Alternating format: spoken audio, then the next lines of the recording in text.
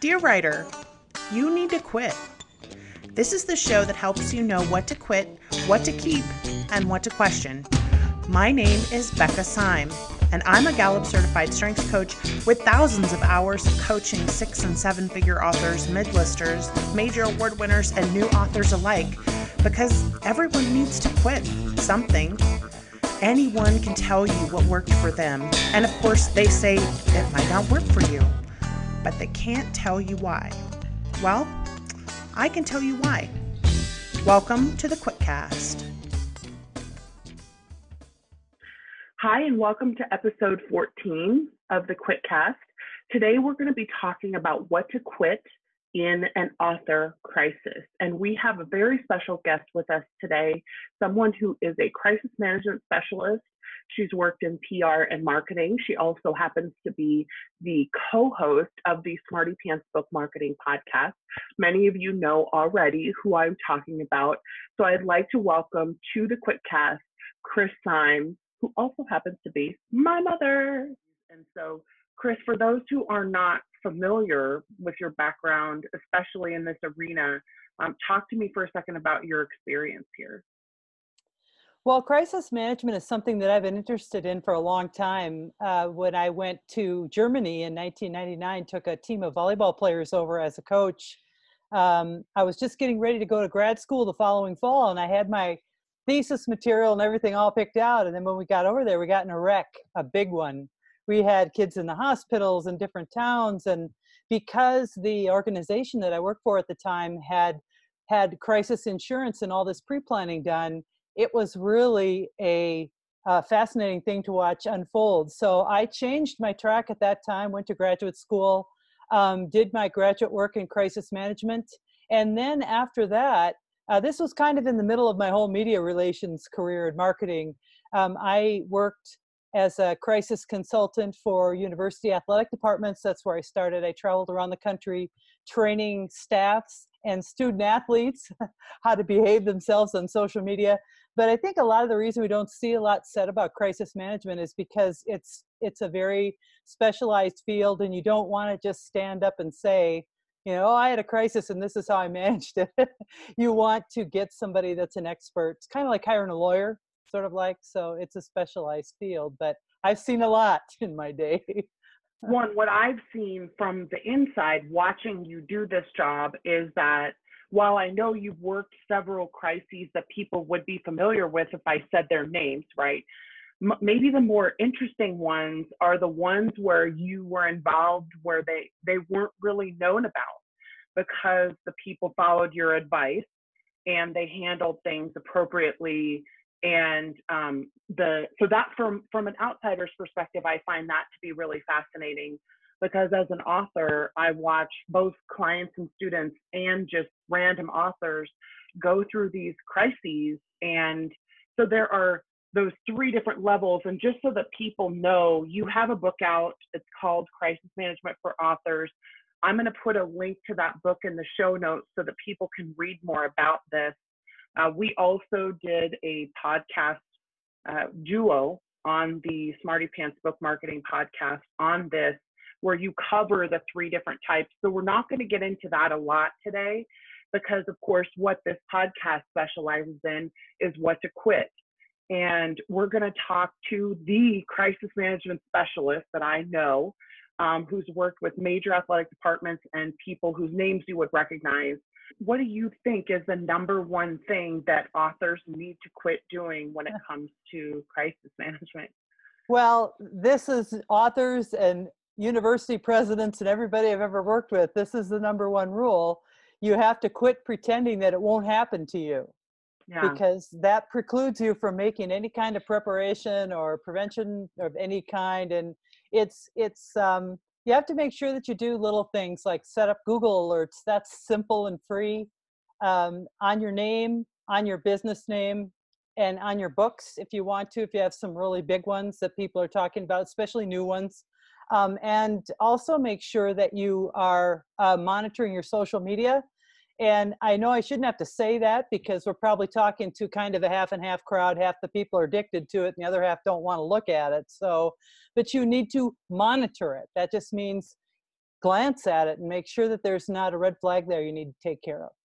So don't pretend that it won't happen to you is the big deal. So don't be a well, I think that anybody and authors are public figures and you're also a business so you got the double whammy you know you, you you've got two things that can irritate people so you have to you know you you have to be aware that it's out there and if you're aware of how to handle it then when it if if it ever should happen to you you'll be okay. I always say that crisis management is the best thing that you're hopefully never going to want to have to yeah. take care of so. Yeah what about number two? You said winging it. What does that mean? We need to quit winging it.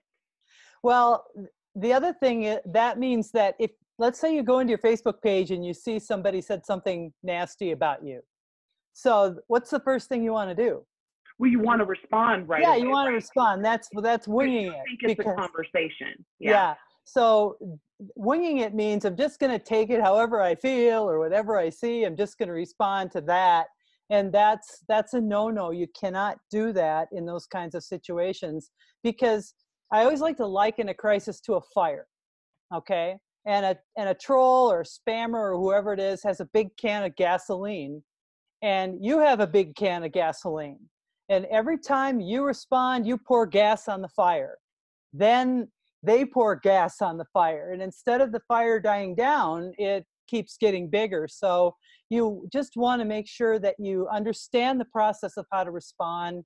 Uh, we always use the three listen, engage, respond uh, kind of slogan, but don't just react. Yeah, and just so those of you who are listening, listen, engage, respond is in the Crisis Management for Authors book. So if you want to know more, please read that. But we're just going to cover some things to quit today. So, all right, authors need to quit panicking. Well, eh, you you um, referred to the crisis levels in the book, crisis, and we're not we don't need to go into them, but let me just say that the first two levels of crises are things that you can probably just handle yourself if you know the process. Yeah. Um, everybody thinks that. Well, I mean, I just look at authors and their reactions to bad reviews. A bad review is a level one. It's like ignore it. You know, I mean, there there are certain things that you have to learn to um, get kind of that armadillo skin over. You can't just, yeah. you know, fall off the face of the earth every time somebody doesn't like you. I know that that might sound a little harsh, but you have to just take a deep breath. You know, keep calm and carry on. I think is is probably a good thing. But what that allows you to do too is it it it allows you to main to keep the adrenaline level low because adrenaline um, has a tendency to make you do things that you normally wouldn't do unless you're in like a real fight. So you just want to keep your emotions down and remember the process, respond accordingly, and just take a deep breath. Everything's going to be okay. Yeah, we talk about this in Write Better Faster as the whenever the adrenaline comes, the the emotions immediately overwhelm the logic. And so no matter how logical of a person you think you are, you're going to be overwhelmed by emotions when adrenaline spikes. That's why we have adrenaline. It's literally the purpose, the biological purpose of adrenaline, mm-hmm. so that you don't stand there thinking about whether or not this lion is a mean lion when there's a lion in front of your cave. You need to just respond by fighting or flighting, right? And so, know that for me, the key of knowing that you are going to panic a little bit is recognizing that we're all prone to adrenaline and that we need to just pause. So just pause. So I love that. Right. I think that in a crisis, you need to, using your same analogy, you need to look at that animal in front of you and decide is this a lion or is it just a big cat? Yeah. You know, I mean, they, yeah, they, we've got, we always look the same. and engage the logic. Yeah. So authors in a crisis need to quit engaging. What does that mean? This is a tough one for people yeah. because um, everybody, we love our fans and we want to connect with them. We want to we want to protect ourselves and our reputation. We want to make things right. We want to tell the truth because a lot of what happens during a crisis is just lies. And you have to be able to stop and kind of stop, look, and listen, you know, like they taught us when we were little kids about crossing the street. You have to really understand what's going on. So, the, what you don't want to do is you don't want to engage. what you want to do is that you need in you need you already have a message let's say somebody said you did something and you know that you didn't do it so rather than say well i didn't do that what you need to do in, in crisis management is you put together a message that that assures everybody that that everything's okay and that that you that you're aware that this is that this is out there and I want to thank you for supporting me, kind of thing. I mean, the book goes into a lot of detail about how to message, but before you ever, ever put your finger on a key on the keyboard to respond to a negative comment, you have to have a message pre thought through. And in a crisis, you never veer from that. Never. Yep.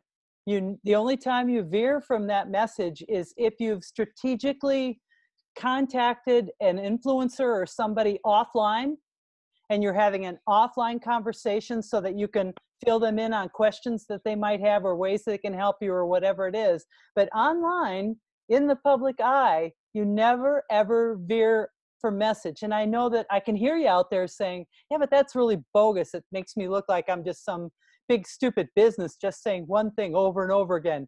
Everything's going to be okay. The point is, is and we'll talk about this in a moment, is that once this thing starts kicking in, you kind of have to give your statement. Crisis management is not about discussing, it's about stating. Yeah. And then you kind of pull back.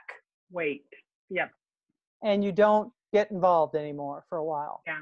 And it depends on the severity. Forget, I'll never forget doing a coaching call with somebody who was in the middle of a crisis. And thankfully, she had contacted me before she started doing anything. But this, this particular engage thing, I think, is so hard for authors because our very first response often is, but I didn't do what they're saying that I did.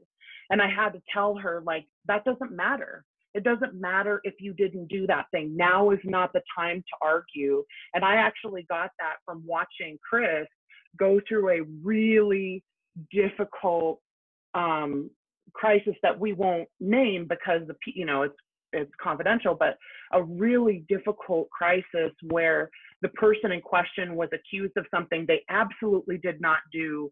And it, it caused a swarm when they defended themselves. And because I watched that happen, and I was like, I know that this is what's going to happen if you keep engaging with this content.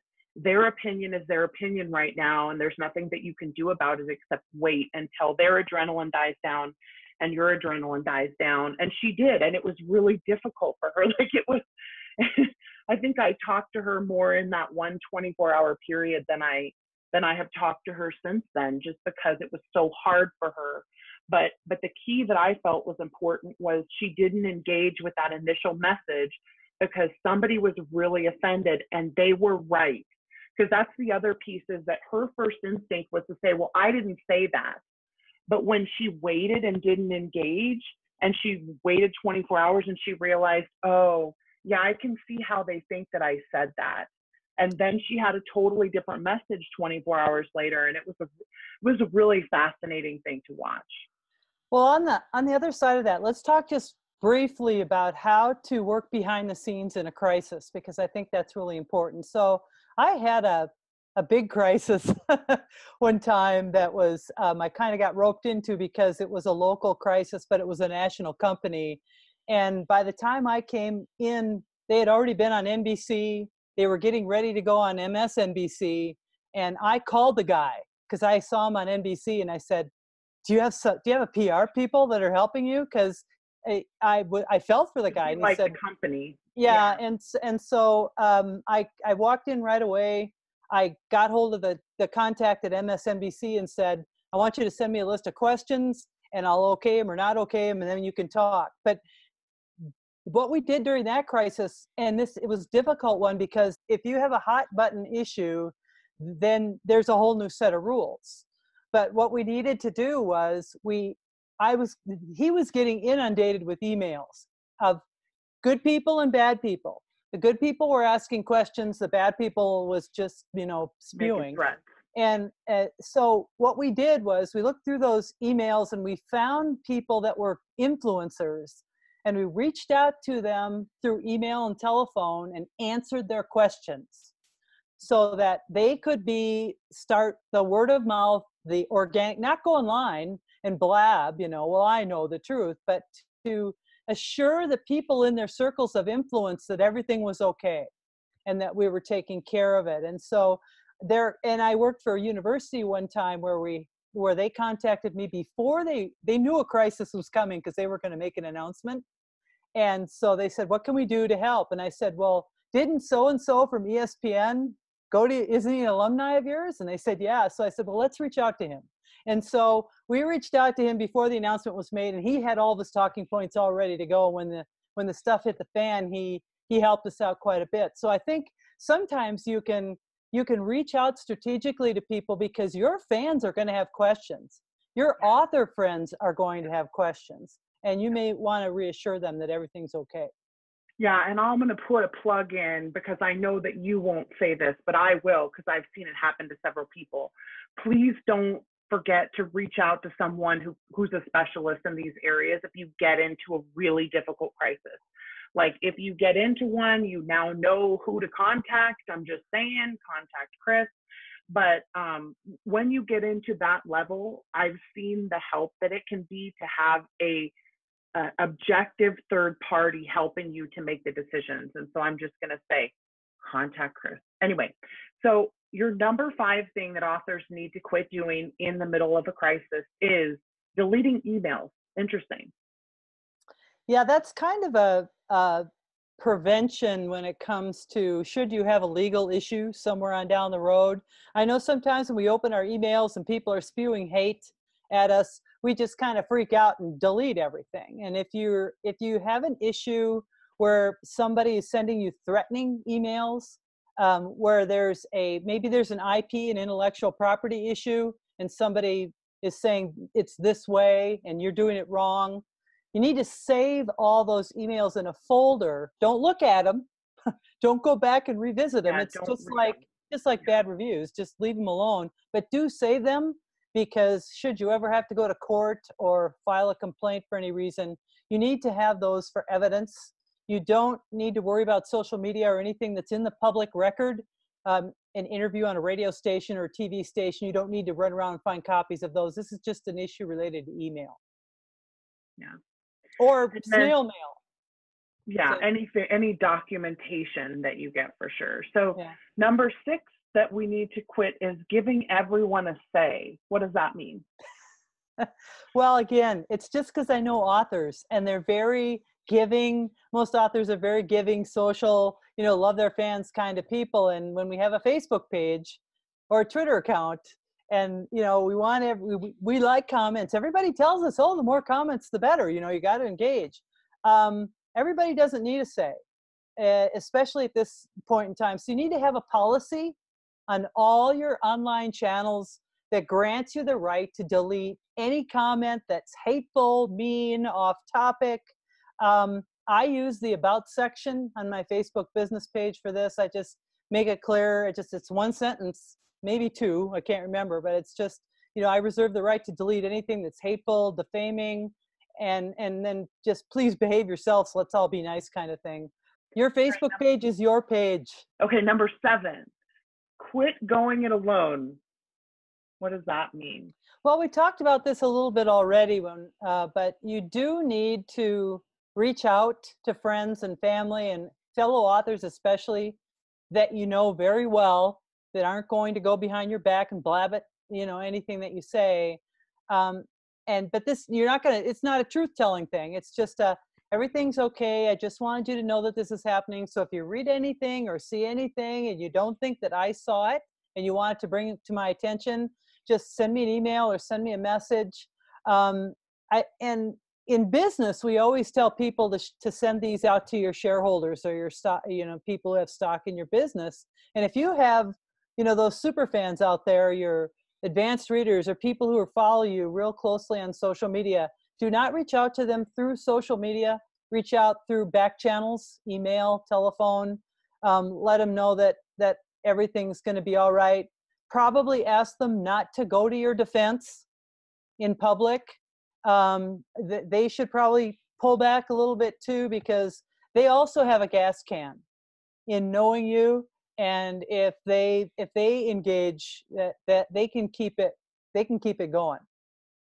Well and you talked a little bit too in the book about um, crisis prevention right? And this is one of those areas where crisis prevention can be helpful because if you're already building your core of invested people so that you know who will want to hear from you if if a crisis ever happens um, those are the people that you want to be building right now and just building goodwill like building positive uh, relationships and building happiness and building hope with people like so that there is this sense of goodwill when you if you should ever need draw on it which we hope you won't and chris made this point in the um, smarty pants book marketing podcast when we talked about it the number of very serious crises is very small it seems like there are a lot of them because we see them pop up a lot, but it's yeah. very unlikely that the super serious ones will ever happen to you. But in case it does, you build that goodwill with people and then you'll be prepared for when anything happens.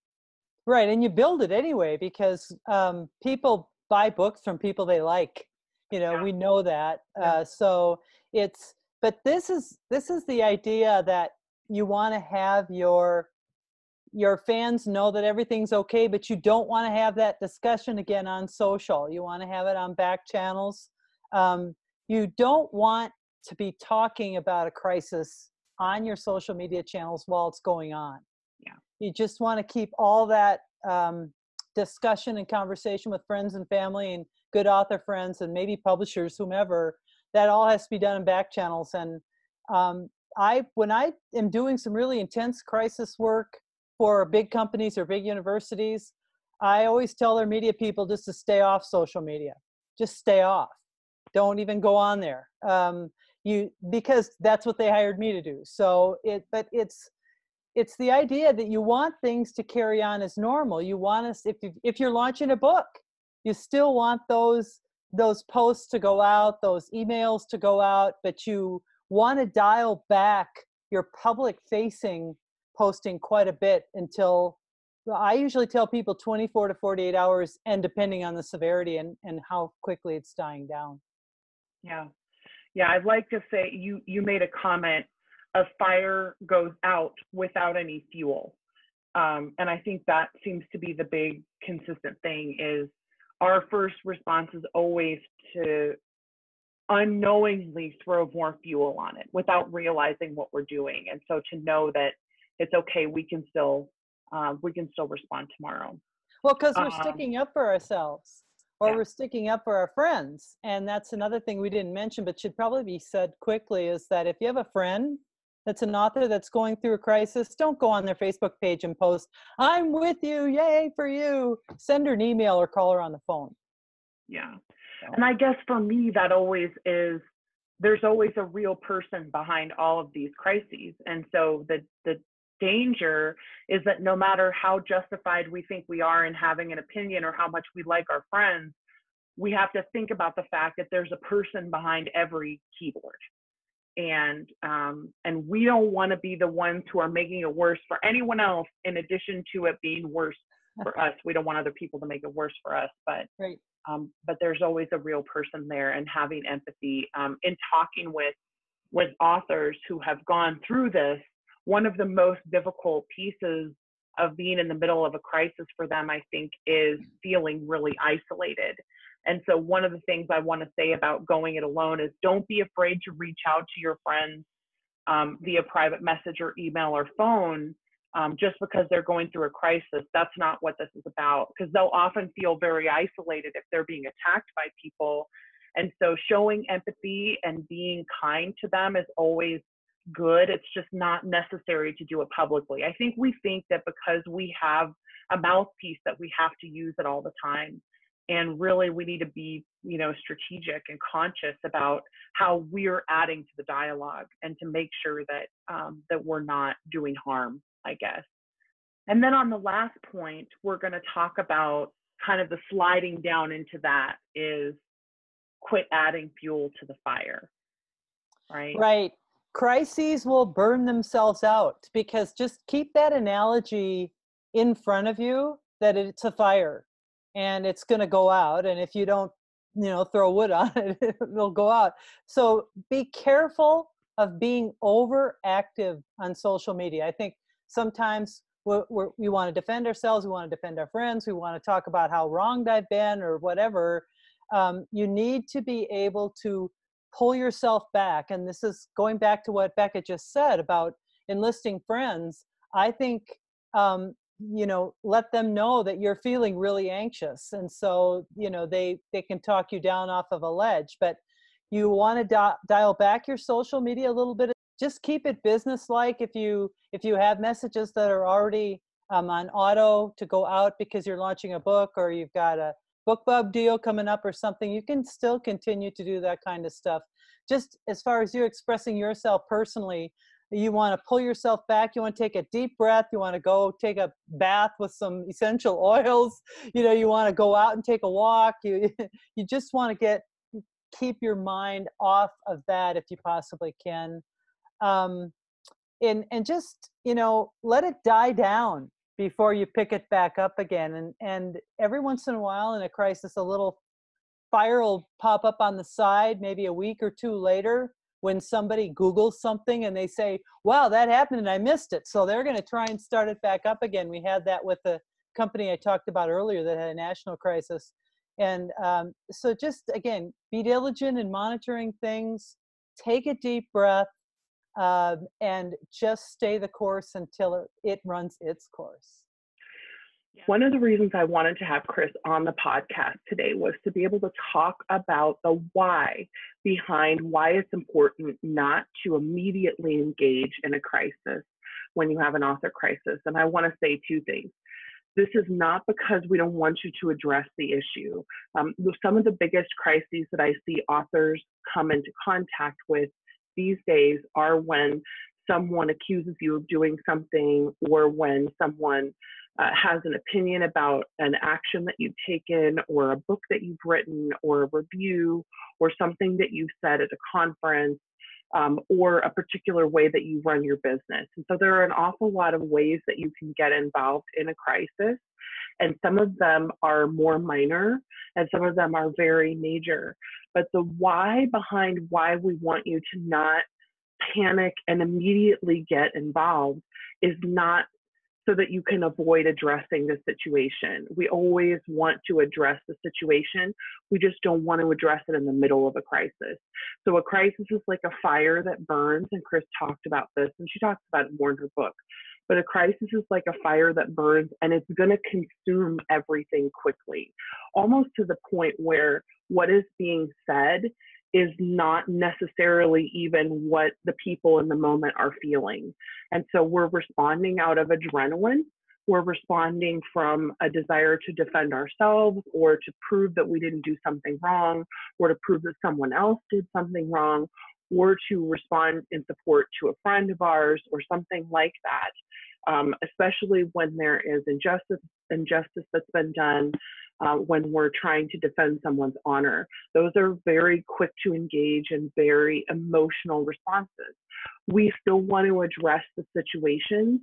We just don't want to do it when everyone is invested in adrenaline fueled moments, right? So we can't help that we get an adrenaline spike when we want to defend ourselves. That's just a biological thing. It happens to everyone but we still want to address the content. What happens in a crisis is that most of us who are involved in it are not thinking in our right minds in that moment because we're being spiked by adrenaline all the time.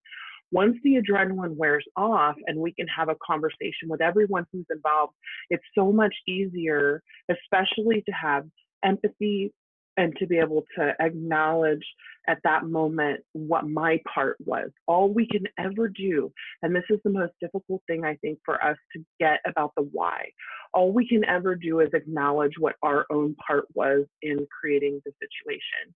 We can't control what other people do or say, we can't control what anyone who is not us, how anyone else responds. And that is a hard thing to come to terms with because a lot of us care about the industry and we care about our peers, we care about our friends, and we care about the future. And we want to see things happen in a way that we think is correct. But in the moment, in a crisis, is not the time to do that. Again, the very first thing I want to address about the why is that we do still want to address the concept of the crisis. We just don't want to do it in the middle of the fire. So just wait until the fire burns out and then let's engage with that when when everyone who's involved has had a chance to step back and look at what's happened and to think about what is the right way to proceed from here. So again, it's not to ignore things, it's not to not address when we have participated in something that was difficult or hard or um, that other people didn't like. The second thing I want to say, and this especially applies to things that are level one crises, which are things like reviews, where we're dealing primarily with someone else's opinion about something that we have done. You can never tell someone that their opinion is wrong. Their opinion is their opinion. All you can do is empathize with them and hope that you can correct the situation if possible. There is not a way, if a reader doesn't like your book, there's not a way to convince them that they will. There just isn't. And in fact, the convincing will only make it worse. And one of the things I always suggest um, with people is don't ever respond immediately if you get a review, no matter what it says. And the example that I use is something that happened to my co writer and I, where we got accused of doing something in a book that was not something that we had intended. And that moment of, I didn't intend to say that, was the moment where we responded, right? And thankfully, both of us are very private people. And so we didn't want to get on and start discussing um, what the, the issue that the reviewer had brought up. And after we gave ourselves 24 hours to think about what had happened, we realized that if you have a certain experience, then everything that even remotely resembles that experience is going to feel like that experience. And so we were able to stand back and empathize with her and say, not to her, but to each other, um, wow, it's crazy that we didn't put that in there and yet that someone saw that that's what it was. And to be able to separate ourselves from, I didn't intend to do that, not that we defended ourselves publicly because it wasn't important. The important thing was that that reviewer spoke what she saw. And if other people who have a similar experience want to say that they're going to believe her, then that's their decision. That's their right to do that. The the thing that I think we miss a lot with as being authors is that not every reader is our reader, and not every story is for every reader. And reviews are really important for readers to be able to self-select what's for them and what isn't.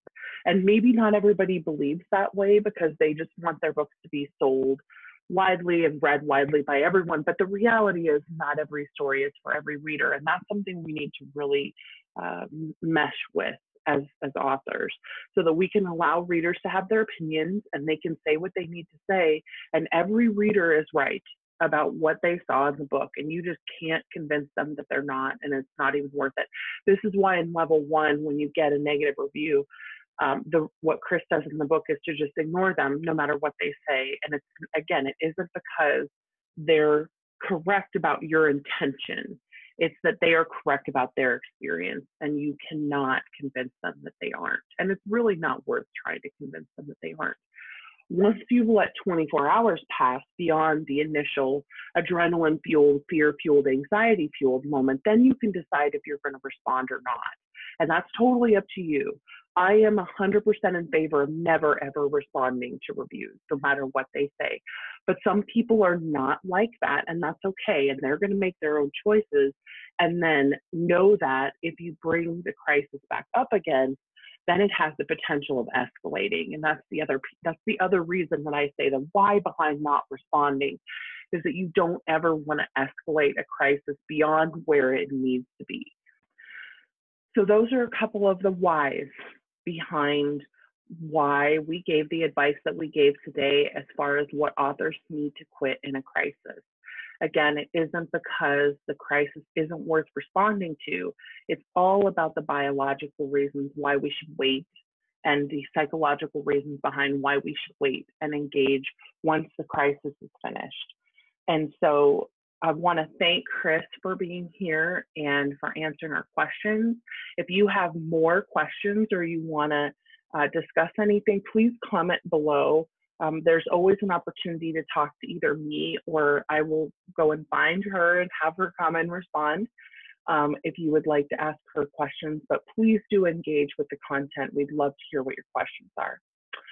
Next week, we're going to return to the KeepCast portion, and we're going to be talking about the Strengths for Writers um, theme of Maximizer and how, if you have Maximizer, how to utilize that to do your best work in your writing. And so please like and comment, please share and subscribe. If you have a moment and would like to check out the Patreon content, we have our first live Q&A for May that's going to be starting next week. And so please go over and check out the Patreon. You can do live small group coaching um, with me uh, if you are a Patreon subscriber. And so please check that out. But until next week, I hope that you have a great week writing, and I will see you on the next QuitCast.